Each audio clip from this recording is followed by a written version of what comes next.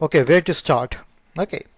We have our image what we are going to use. That would be the appropriate one. All right. We have a clean lighting nice environment. But before we start there are few things few ground rules we should know. So, all right now hence we are anyway doing our render passes. So what I'll suggest is first let's make a list of all the render passes. Okay required render passes. All right. And render render passes on scene requirement. Required render passes the compulsion one the one what you always needed anyway. Diffuse specular reflection. AO shadow.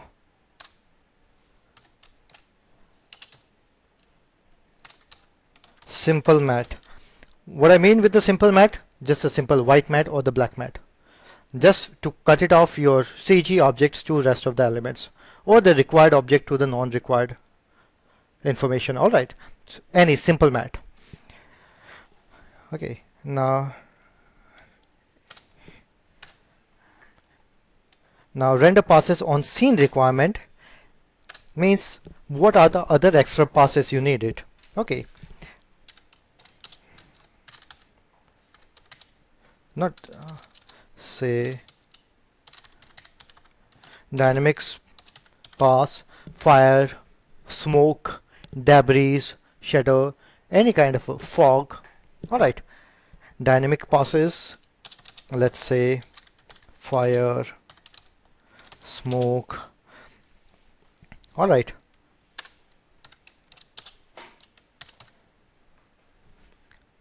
haze.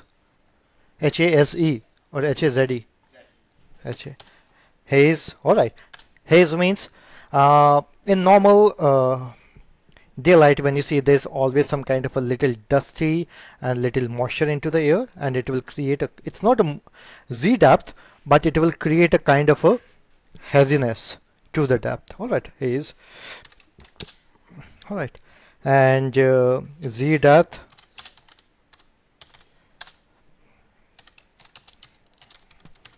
color matte it can be made it with a different primary colors RGBs if you need more you can include yellow any prominent color.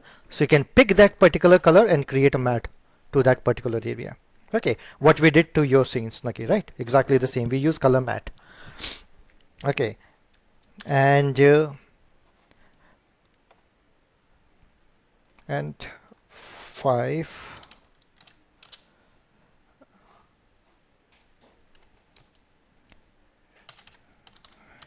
ambient. What is ambient light? All right the lights from the ambience from the environment what we are getting the light source which we of usually did with HDR all right and we might gonna keep adding as we progress we might feel that we require some of the other extra passes so we will break down those passes also Beauty is diffuse pass. It's the same. Beauty slash. Some people refer as beauty. Some people refer as a diffuse pass. It's always I say it's the same pass. Okay, there's no difference on it. No difference. Okay, specular reflection AO. There are so many other passes also when you open your render settings. They are different. Direct light pass, indirect light pass, direct shadows, indirect shadows. There are so many other extra elements. Okay, but as a primary element everything will work around with these elements until anything extra come along with. All right. So file let me save these passes list to our project. And uh, passes again. Render render pass list. All right. Let it be opened. Now where are we gonna start? Let's study our shot that's image one which we are not gonna work on. Image two. That's nice. Clean clear. The framing it's good. We can put a bench right here itself along with this. Or here depends. All right. Let's study it. Let's study that shot first. Colors very vibrant nice color very natural colors. Every kind of a colors are here. Okay. Light light source as I can see that it's a white sky means it's a pure white light. All right and uh, the surface it's a grass it's a soft and we hardly see any of a direct shadows even with the objects closer to another they are not dropping any shadows one and another. Okay. All what you can see even the roof also there's no straight line shadows. Okay. What we can do is we can work into AOs but we still require the shadow pass but the shadow pass needs to be did you see this? That is the closer part. This is not AO AO would be these corners. But did you see this a gra gradient of his shadows very soft shadows. It's very soft shadows. So we will use mental ray shadows with the very soft attributes. Okay. And uh, if I have to use this image to getting ambient light I will convert that image into HDR which is actually not a very ideal way because that is already a JPEG image. So even if we convert into HDR we are losing a data it's we are already creating a HDR with the lost information low resolution alright. But still we'll get a bit of a idea alright. That's the whole purpose of this exercise. So you will get an idea of okay. So these are the information we'll get now. Let's first what we need to do is let me convert that image into a proper match move. Let me get a proper right perspective. Okay how are we going to do that? SynthEyes so let's open a SynthEyes all of you guys know how to create a right appropriate perspective with a single image and with the moving shot. You guys are already quite experienced now so uh, render again. Lawn. Yeah that's the one FPS doesn't matter because we are doing just with a single shot. Alright how we do with the single shot? Lens go to the lens here. And I can see with this grid that the lines are quite straight of the buildings right? If the lines were not straight means there is some kind of a lens distortion but I can feel that lines are quite straight here. So there's no lens distortions right now at that stage. All right let's start with there are a few things what I can see that this line would be it's a porch uh, extended area for the house. That's a main house so I can use this one parallel this one parallel this one parallel. They all look parallel to me. This one would be parallel to this one. And you have these parallels also. Okay so we have a parallel line. We have a parallel line for the y-axis also. All right. Before I defining with the axes let's go to edit scene setting and check Y up Maya. It's good. So we can continue now. Okay. So all the attributes the accesses would be followed according to the Maya adaptation. Add line. You can take this one as a x-axis or the z-axis up to you. I'm taking this axis as my on x-axis that would be my primary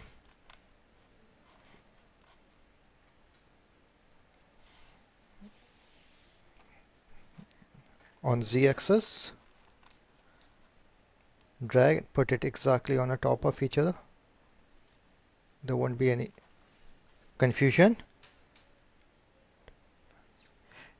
Yes if there is any problem with your uh, video uh, okay let me tell you guys. How ask me a very interesting question. Do we do lens correction? So we had to do the lens correction if you guys want to work with the distorted one distorted image sequence all right So there are two ways. You correct the lens distortion, export it as the correct lens function with the straight lines. You can do it in SynthEye. Okay, you can solve your lens distortion and re-export your image sequence. So it will corrected your entire lens distortion and make it a clean plate for you. If you don't want to do it, you keep on your lens distortion function and do all the solving, all the match moving and transfer that data into the Maya and whatever you generate or whatever the cubes or 3D geometry you place, it will follow the same lens distortion. So there are both the ways you can do. But hence my image have no lens distortion, so I don't have to worry on. If they do, yes, of course, there's a lens distortion function. You can calculate what kind of a lens distortion is there, fix it up, and uh, press P and output and export save sequence. So it will save your sequence as a new lens distorted one. All right, uh, let me type it zero. There's no lens distortion. Okay, as you can see, if I do the lens distortion, did you see my lines? They're also shifting. Did you see this line here?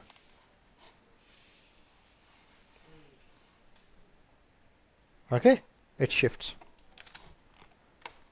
All right. Because and why it shift because these lines are actually into the lens function. All the coordinates are connected to the lens itself.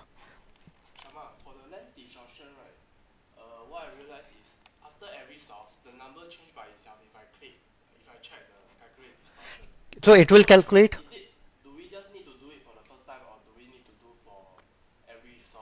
no no no just the first time. Just time. first time of course. Only for the first time.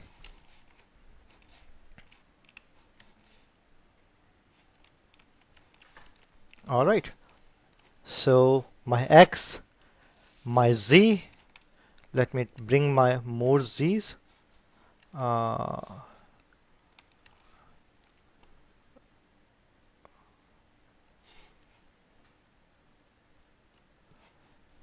parallel to z?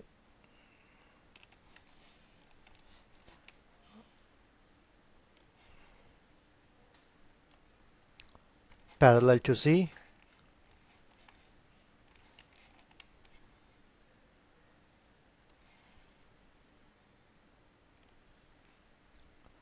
Parallel to x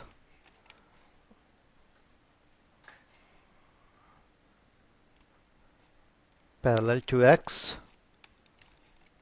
We have a good amount of x actually.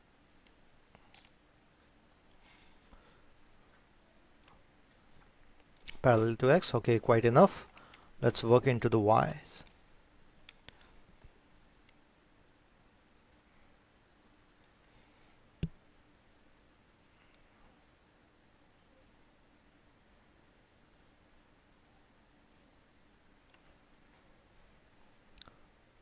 on y-axis take this line because all these lines are straight and I will put there as you can see it had the same distance along it. It means it's straight. Alright it's corrected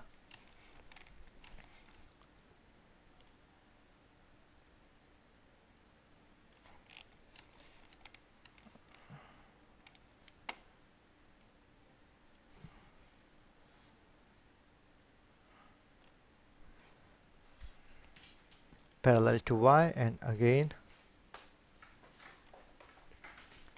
parallel to y.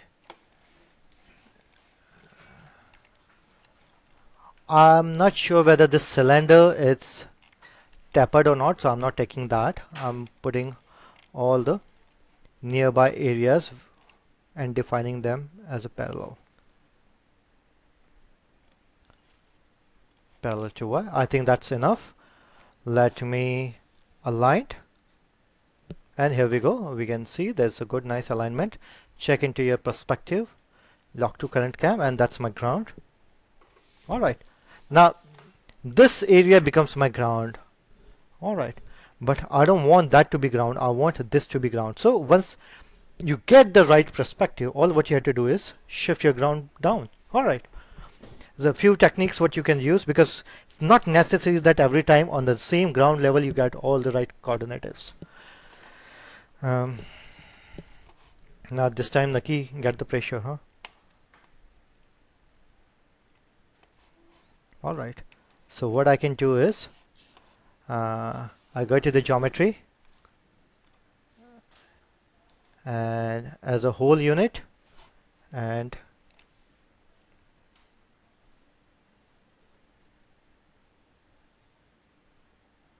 there we go. Okay. As I can see yes this nicely aligned that would be our ground. Okay so let's check card perspective. Let me create a box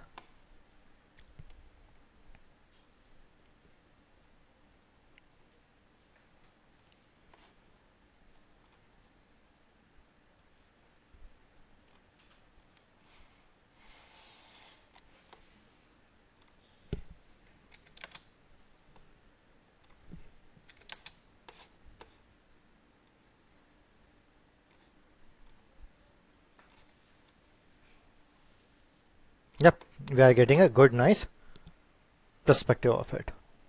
Okay, as you can see, these lines and these coordinates are exactly perfectly aligning with it. How I can check? I will move my cube to this corner. Okay, it's just a checking process. Okay, cube to this corner, which is the same one. I'll drag see it follow exactly the same. Okay? It means we get a good nice perspective. All right that's my ground. File uh, let me save the scene into render passes. File export as my ASCII uh,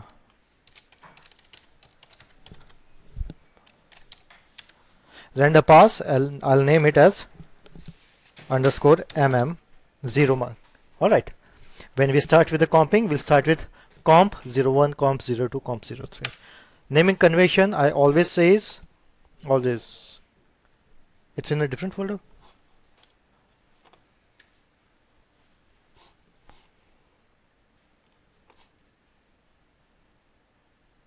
Ayala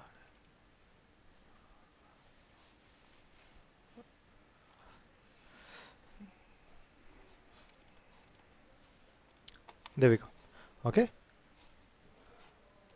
Close it. I don't want to save. It's already saved. All right. So we get our data.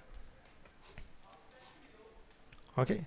Let me minimize this list we gonna start working on. Okay now Naki your turn. All right. Now we start placing the objects.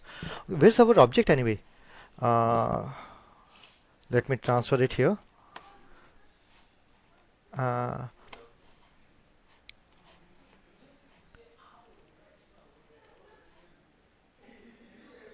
would find which one? Copy.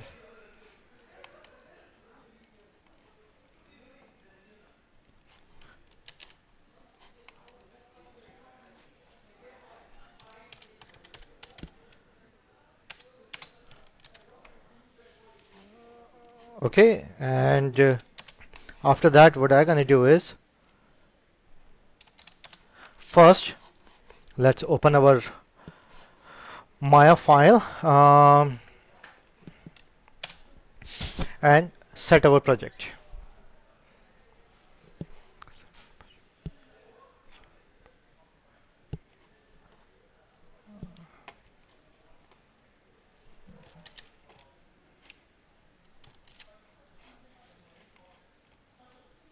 There we go.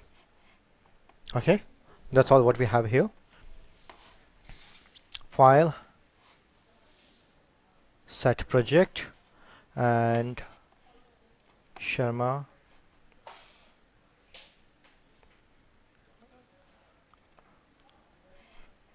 set create default workspace. When I click create default workspace means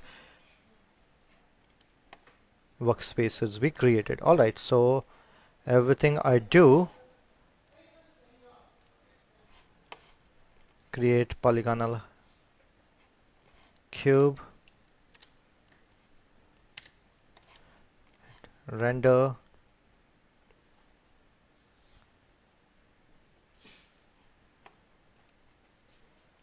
Save image. Yes it will automatically create it. All right. Fine that's good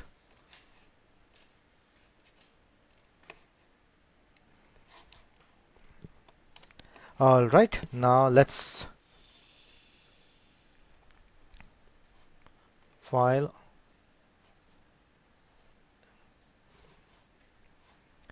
Oh, uh, save scene as I'll say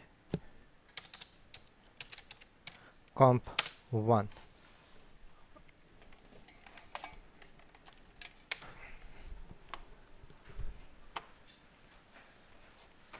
file import and uh, asset mtx obj let's import that. Awesome. It's huge. Let me open my outliner. Control G. I will name it as my assets group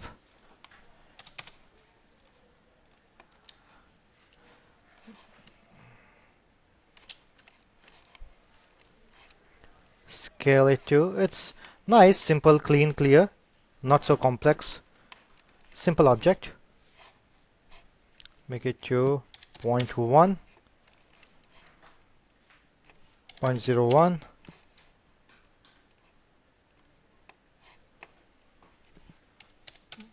no. 0.05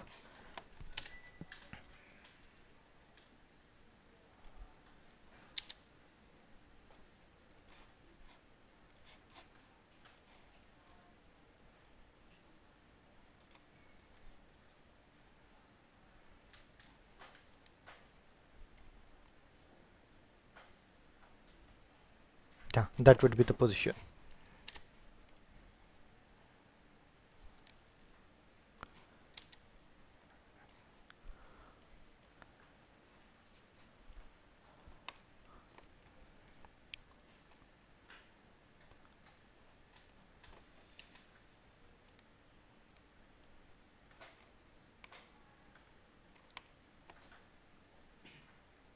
Okay?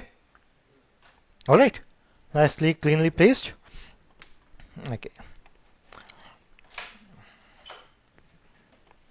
Now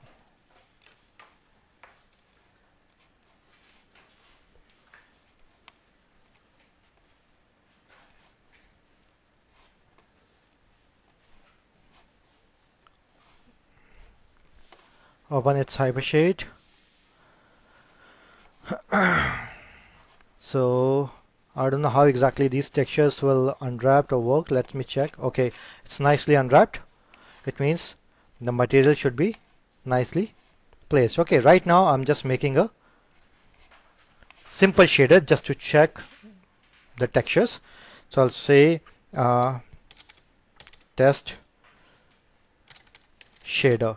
Why I say test shader? Because that shader just for the checking purpose because we're gonna create a different shaders according to our render process. I always turn it off the quadratic filter type. Why?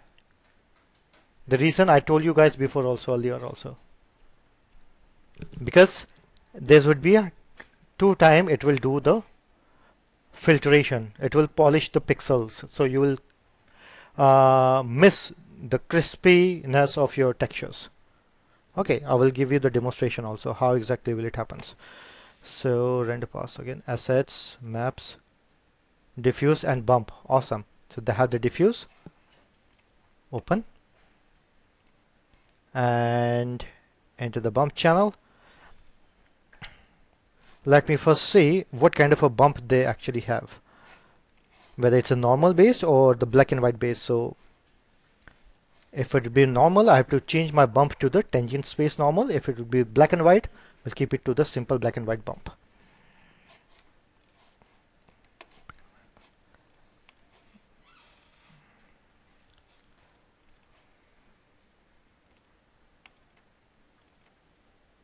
simple black and white.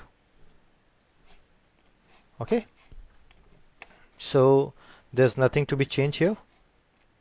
Just simply assign it the way it is. Simple bump. Turn it off and bump map. All right. Turn it off all the qualities. All right. And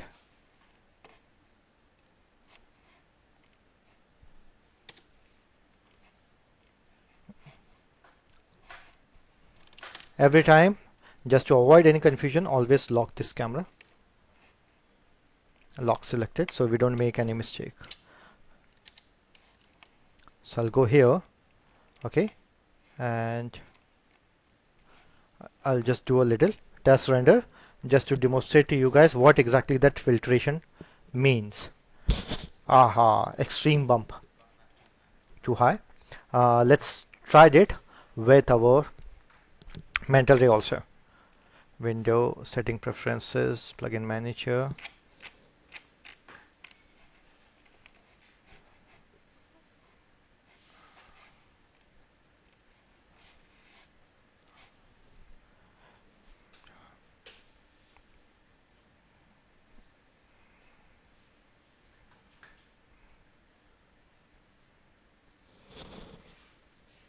Oh, ho, extreme slow. Why?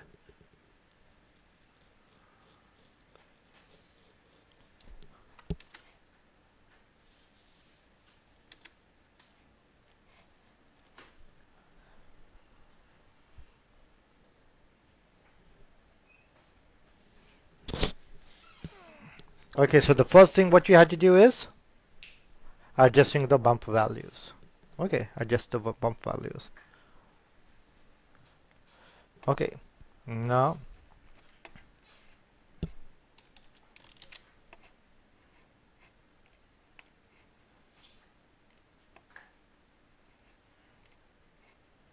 bump depth I'll say 0.2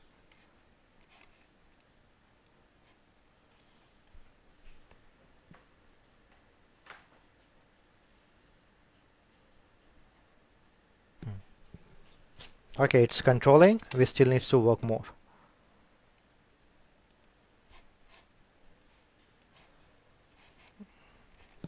Point zero five.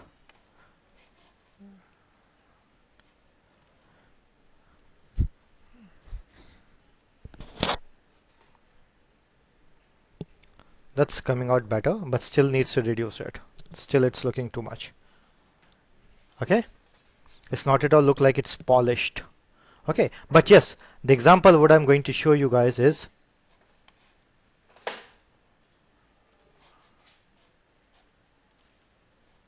that's the real resolution. What resolution this one have? It take the resolution according to the size of our image. Okay when you press 1 okay let's take this piece and let it be rendered. That's why it is taking too much time.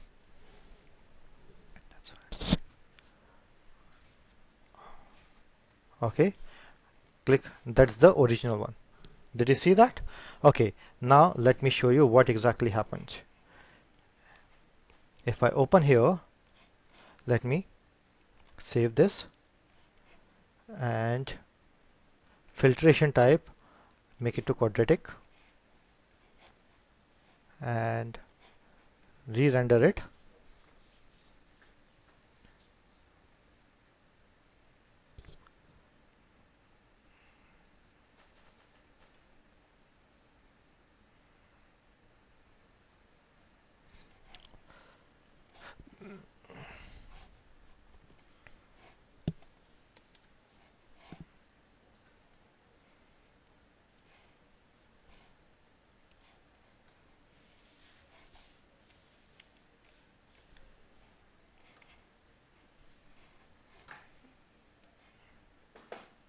Did you see the difference of the pixels? Watch it carefully here.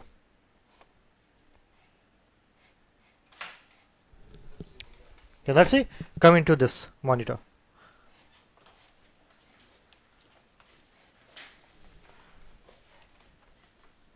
See very carefully this area. Okay, very carefully see it. crispy, blended, Oh, crispy, okay. blended, crispy, blend, crispy, blend. Okay, so it try to polish your pixels. Okay, I don't want it. Why? Because if I have to blur it, I will do everything into the comping.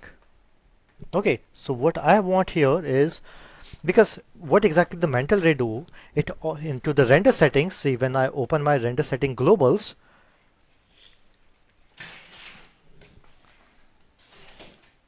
it already have filter. Okay it already have that. So why I- do I have to filter it twice? It's already have a filter here. So what happens if I turn it on there? It is filtering two times. So two times it is polishing your pixels. Okay? All right. So that's why I was telling you guys. All right. So make it to turn off. Let's again come back to our camera and I want to see the final result the placement with the image. How exactly will it coming out?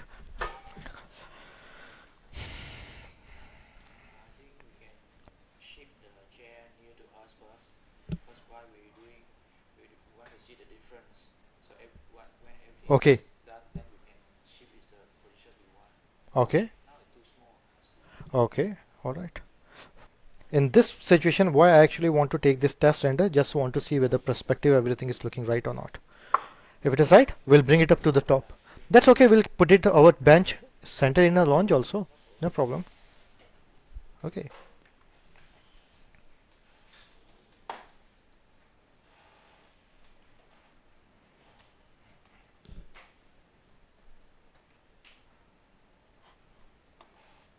Okay so the perspective wise I'm quite satisfied. I'm quite happy that the placement is there. Okay?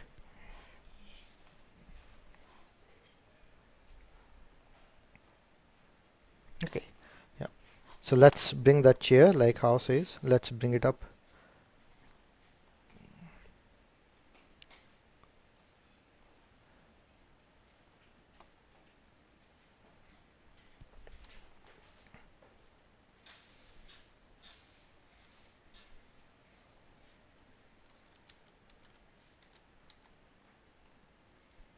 let's bring it up more close. Okay. So it would be easily visible. We'll do it here itself. Okay. Um, saved it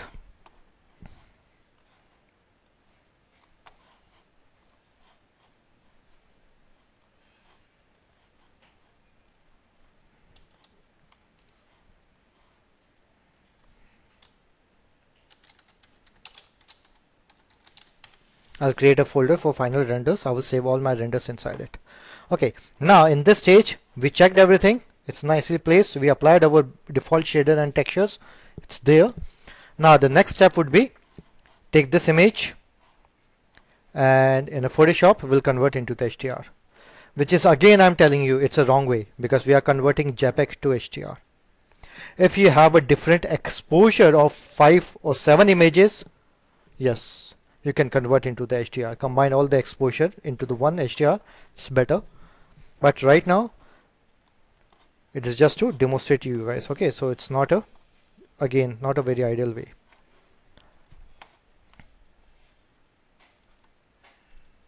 Mm-hmm.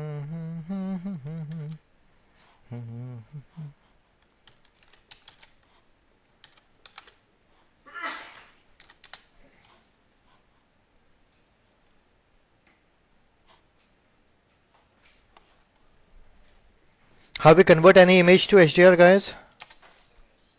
Hmm? Save as. If I saved as, it won't appear here. They convert into the BIMP, BMP, TIFF or any other PNG, but not in HDR. Why? Copy shot, uh, the, the copy, export as HDR. How could we export it? That's what I'm saying. Okay, not save as. Let's say export it. File. Is there any export? Export. Okay. No. Guys, come on. Come on, come on, come on, come on, come on, guys. True, Sunny, is true. It's a 8-bit image. JPEG is an 8-bit image. Yes, we need to convert into 32. So what we have to do, image mode, change it to 32 bit. When we convert into 32 bit, when you do save as, now you can save it to Radiance HDR. Saved it.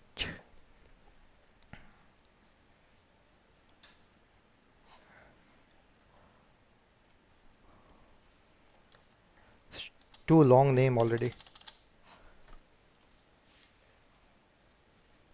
once we saved as you know we get our slider. You see that's the problem. Okay the quality difference I'm talking about. When I increase my exposure my light supposed to come from the sky. But it is a 8-bit image. It's not having that much data and color information. It emitting a light from house as well as the sky both together. Even the house is also emitting a light all right. So these are the few elements you know why you never have to do it. But we still get the little bit of color information by using it so that's okay